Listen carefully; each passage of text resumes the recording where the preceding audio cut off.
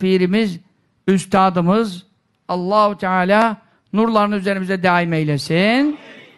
Ee, mübarek zat orada Medine-i Münevvere'de işte demek bir zuhurat ile aman Ahmet sabah namazında bana orada şöyle de bir iş oldu.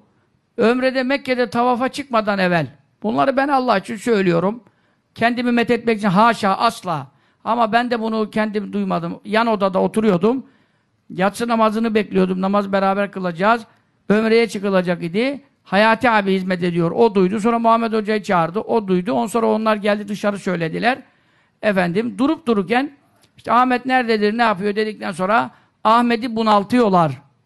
Ahmet'i kıskanıyorlar. Hepimiz onu müdafaa etmemiz lazım. Diye böyle bir sözü var Mekke'de. Onu buraya yazmadım ama kulağınızda küpe olsun. Bir kere de aynı Mekke'de ona eziyet ediyorlar, sıkıntı ediyorlar. Sahip çıkalım. E tabi bu meseleleri buyurdu. Ondan sonra Medine'ye gelindi. Medine-i Münevvere'de e, bir e, sabah yine aman gayret edelim.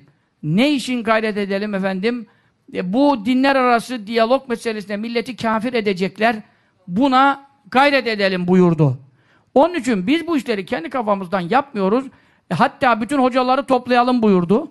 Medine'de bütün hocaları topladık. Belki yüzlerce hoca. Orada Efendimiz'in odası çok 500 metre yeri vardı geniş. Oradaki odada toplandı. Bütün hocalara bir konuşma yapıldı. Bu da internetlere bilmiyorum. Geçti mi? Mübarek insan. Yani o haliyle işi gücü, derdi din. Milletin imanını nasıl kurtarırız? Efendi Hazretleri bunu düşünüyor. Onun için biz Allah için korkmayacağız, çekinmeyeceğiz. Hakkı söyleyeceğiz. Kimseyle işimiz yok. Hakaret de etmiyoruz.